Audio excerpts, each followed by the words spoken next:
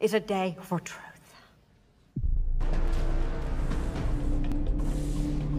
The world needs to know what happened and to know what he stands for. Get out of here! That kind of power is very dangerous.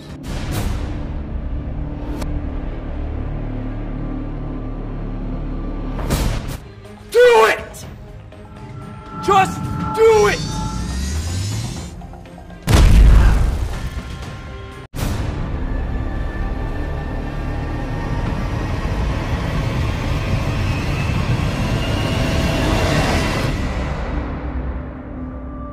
You don't want to mess with me. Let the